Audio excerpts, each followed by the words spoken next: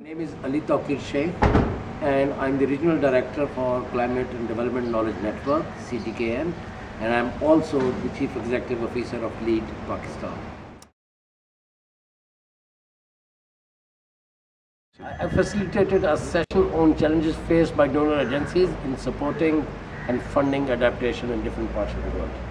There are many messages uh, dealing with increased need for donor cooperation or collaboration with each other, um, tracking investments uh, in adaptation, making systems more transparent, more accountable, more efficient, um, generating more, more data, especially gender segregated data, in order to ensure that we are reaching out to all, all the marginalized groups or affected groups.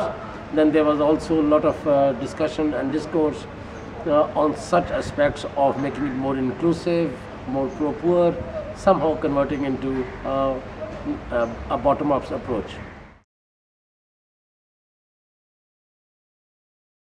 I think the most important ask was that in, in funding uh, adaptation, the donors need to be able to distinguish between, between adaptation and maladaptation.